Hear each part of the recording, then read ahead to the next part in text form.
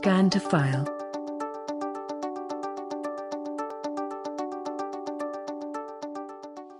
Entering Scan to File mode opens a File option window. It is possible to choose to continue scanning to latest file, create a new file or open any other file stored on the device. Use up-down navigation buttons and OK button to select. It is also possible to delete files stored on the device.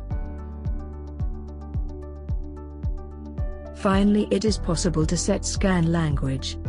This version supports English, French, German, Italian, Spanish, and Russian. Use navigation buttons to select and back or OK to exit.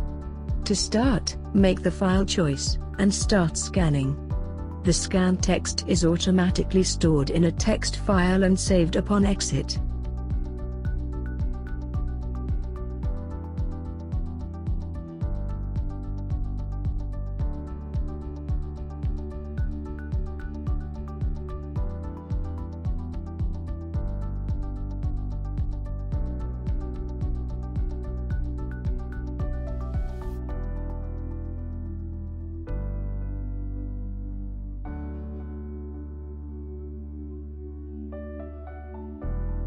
Press menu button to access Scan Quick settings.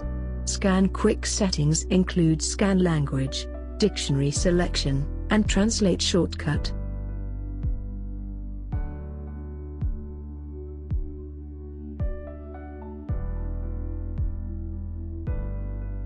To look up a single word in the text file, place the cursor on a character in that word, press menu button and select translate.